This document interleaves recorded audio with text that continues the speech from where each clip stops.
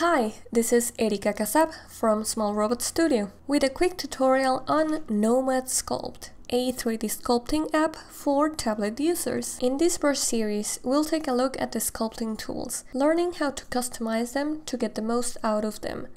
Today, we are reviewing Crease and Pinch. Let's start with Crease. This tool is great for creating cuts, dents or wrinkles.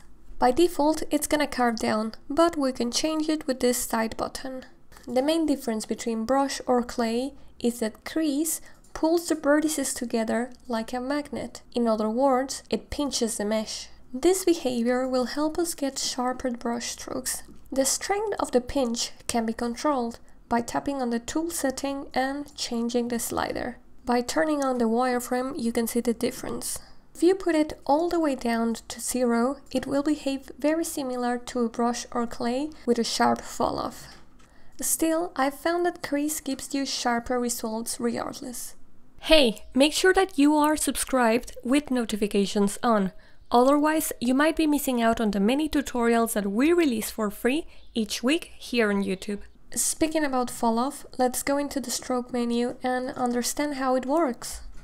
All the brushes can be set to their own fall-off, but the best way to illustrate it is with crease. Fall-off is a curve that will define the intensity within the brush diameter. Imagine we take the circumference of a brush and place it flat. Where the curve is higher, there will be more deformation. The bottom area decreases deformation. Tap on the curve and you can choose from many presets or make your own on the custom section. Let me make a stroke with different fall-offs now I'll make a cut between them so you can appreciate how the silhouette changed between each of them.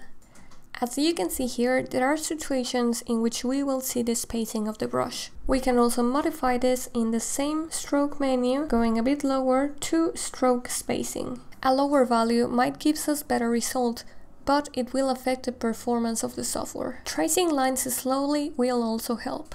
Take advantage of these settings to modify your tool to serve your objectives better. For example, let's make something like eyebrow hair. I'll bring down the pinch force, then create a fall off with a sharp point and to have some intensity fade in and out, I'll change the pressure curve to this shape. We are ready to sculpt. These changes make the result nicer than just using the default settings. Maybe you need to carve a long line, but you encounter two problems. It's hard to control the line and make it clean. We can try making it bit by bit, but the connection points are very noticeable. Let's customize our brush to make this work. Open again the stroke menu and scroll down to stroke. Dragging distance will give the stroke a bit of a lag, like a lazy mouse, allowing you to go slower and more precise. Stroke smoothing is a line stabilizer. It makes an average of the pointer position, so instead of giving me a jagged result, it's a nice fluid line. The first problem is solved. We have a nice clean line. But I still have the issue of the connections not matching. For this, I will use Snap Radius. It creates an area around the end of your last brush stroke. If you start a new stroke in this area, it will snap it into the last recorded point. This will fix the position, but not the intensity of your stroke. So if the pressure you apply changes, which is most likely, the connection might still be visible. What I like to do is to turn off pressure for radius and intensity to keep the line the same. And voila, the connection is much better now. These settings are available for most brushes. So you might be thinking, what's the difference between crease and pinch? Crease does two operations.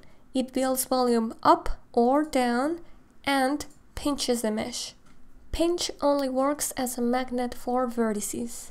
Technically, it won't affect the shape of the geometry, unless the radius is big and the intensity is quite high.